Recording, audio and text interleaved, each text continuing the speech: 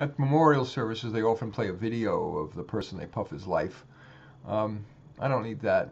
What I probably would want, though, would be uh, kind of this this little video where I'm kind of reciting my uh, my favorite ideas.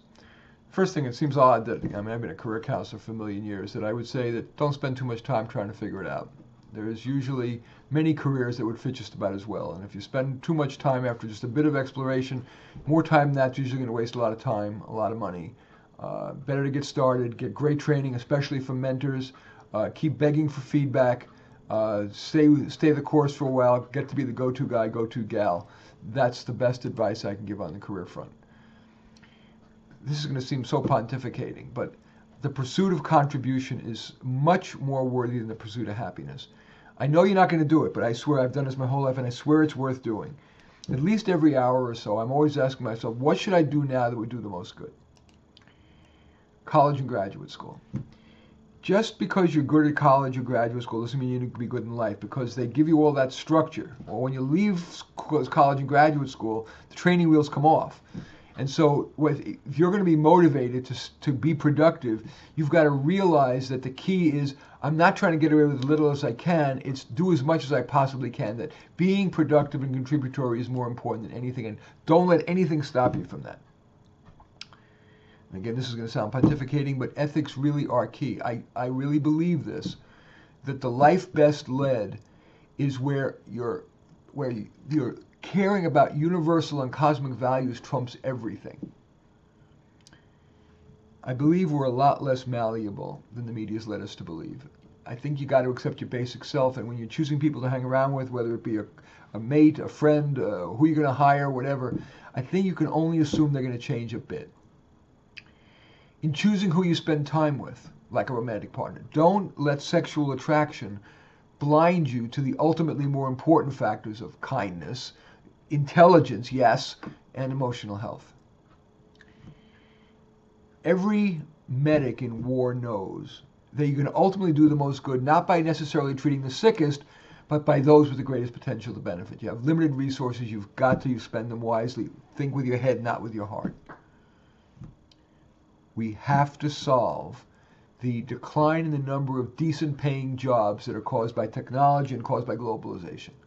I've got only an inadequate solution. I call it an assistance army. We got to encourage people to hire low level service people to help with their newborn kid, to help uh, their kid with homework, to be a technology demystifier for their kid or for themselves, to uh, help them age in place, whatever that's going to create a lot of ethical jobs, and I think that's really very important.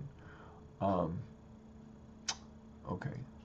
Uh, I also think, uh, in, in, that regard, that more people are going to have to learn to live on less. And the good news, at least in my judgment, is that I swear I believe that me and most people could live quite well in as long as we chose low cost housing, because that's the biggest housing, the biggest expense.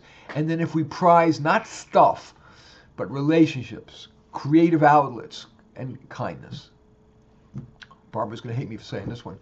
The live teacher, I really believe, is obsolete, especially at the college level.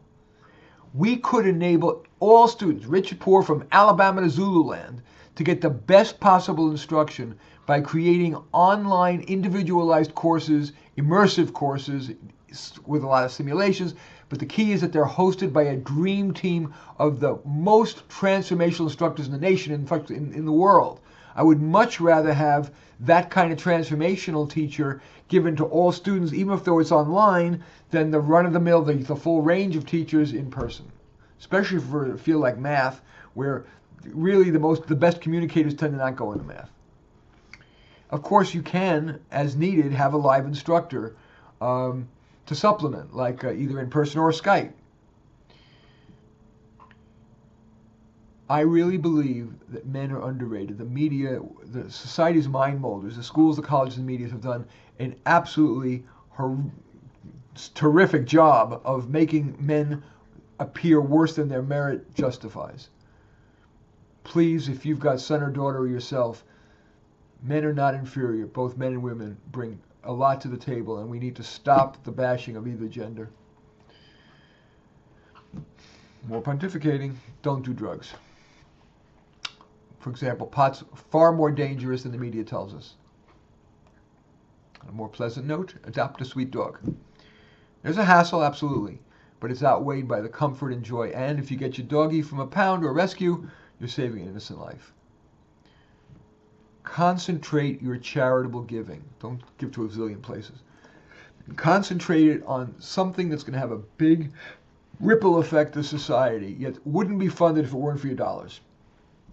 I have been donating money to research on the biological basis of intelligence and on mentors for intellectually gifted low to moderate income kids. And finally, my dad rarely talked about being in the Holocaust. And he explained it this way. He says, Martin, the Nazis took five years from my life. I won't give them one minute more. Martin, never look back. Always take the next step forward. He's right. I have found with so many of my clients that more than a bit of, quote, processing is more likely to keep you mired in the past and to play victim. Don't look back. Do take the next step forward. Anyway, thank you very much for watching.